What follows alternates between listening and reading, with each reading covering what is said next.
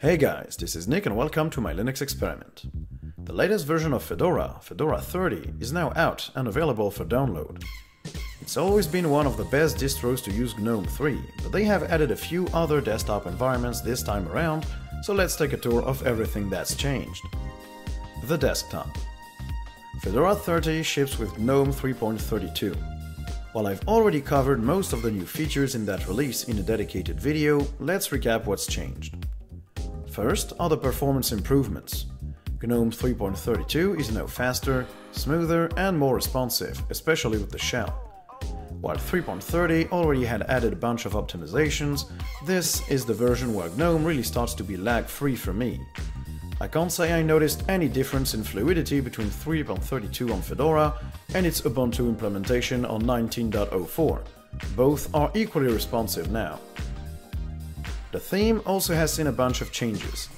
The most notable is in the icons, obviously, which abandoned the hyper-realist 3D look that was too hard to draw and incoherent with third-party icons. The Adwaita theme also has been largely improved, with better contrast and colors, more rounded elements with more subtle borders and shadows, especially visible in the tabs and the header bars.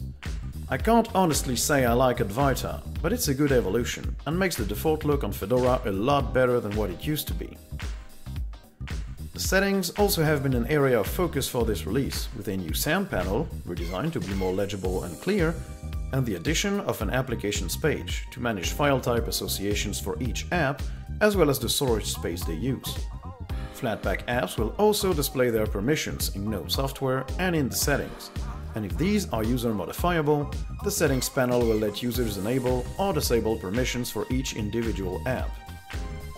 Nightlight can also be tweaked a lot more with a manual mode and color temperature selection slider.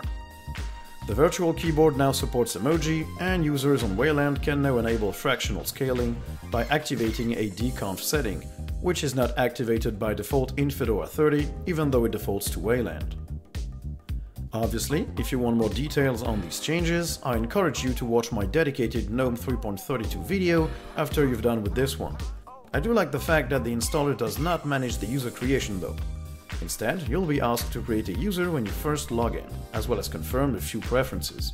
This is a good onboarding experience. They also add a welcome screen after installation, which explains how GNOME works, which is a pretty good idea. It uses videos and links to the GNOME user manual to explain how to accomplish basic tasks, and it's well executed. Under the hood.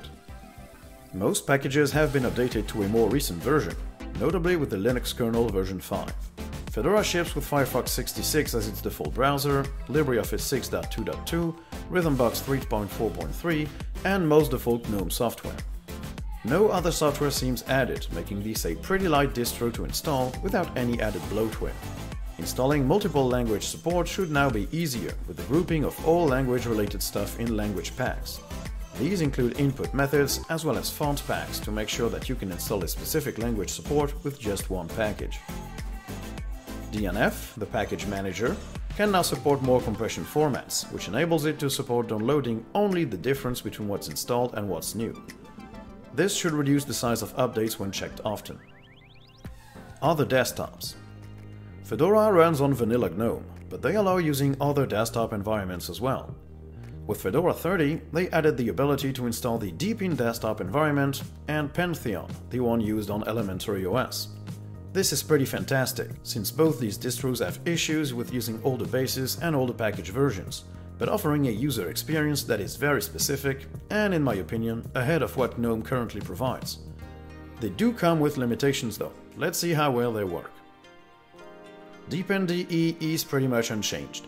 You can still get the dock in its two modes, all the specific Deepin software, and the sliding settings and notifications panel. It seemed a little less reactive on Fedora than on Deepin itself, especially after trying out Deepin 15.10, and it had a few glitches here and there, especially in the dock. Fedora even installs Deepin's GTK theme to make sure that GTK apps look like other Deepin apps. Installing Deepin DE is easy, you just install the group called Deepin Desktop. You won't get access to the Deepin store, but that's not really an issue since it's only sourcing older versions of software you'll find in GNOME software on Fedora. The main issue here was that my settings weren't maintained, such as the keyboard layout or the display configuration. I had to set it up all again on Deepin settings, although I had already done that on Fedora and GNOME. Pantheon is a different beast. You can install it by running sudo dnf group install pantheon desktop. The problem is, it does not set by default the elementary icon theme or the GTK theme that goes with it, so many things look and appear broken. Some app icons simply don't show up, and the theme just doesn't look right. To fix that, you'll have to install GNOME tweaks and set the themes to elementary. Even with that, the dock won't look right, so you'll have to control plus right click on it, select preferences, and switch the theme to GTK+. After all that, you'll have a pretty identical Pantheon desktop, except that you will be lacking the App Center, which is one of the most compelling reasons to install Elementary OS, as it stores a ton of great one-purpose applications designed with the Elementary OS guidelines in mind. Still, if you want to replicate the Deepin or Elementary OS experience, it's a great way to do so, and it's nice that these desktops have been included. Just remember that you'll have duplicate entries that might bear the same name, for example, both Nautilus and Elementary's file manager are called files, so you'll get two files entries in your menu, both in GNOME 3.32 and in Pantheon. Same goes for Terminal. To conclude, I'd say that for using Deepin, Fedora is a great choice. You'll get a more up-to-date base and avoid the whole Chinese distro controversy, although you'll still have to trust the various packages Fedora built. For Pantheon, I'll stick to Elementary OS, if only to have access to the App Center. All in all, Fedora 30 is a great release if you've been using Fedora 29. It's more up-to-date, and GNOME 3.32 is a must-have upgrade over 3.30 for the performance enhancements alone. Users of other distributions that don't really enjoy GNOME might want to try using Deepin or Pantheon on Fedora. With a bit of cleaning up to remove duplicate entries, they'll get a great base with the desktop environment of their choice. So that's it for what's new in Fedora 30. Obviously, there are a lot of other changes, but these were the most user-visible ones. I hope you guys enjoyed, and I'll see you in the next one. Bye! If you enjoyed, please consider liking, subscribing, and turning on notifications. You can also follow me on Twitter at the Linux EXP. Thank you guys for watching, and goodbye.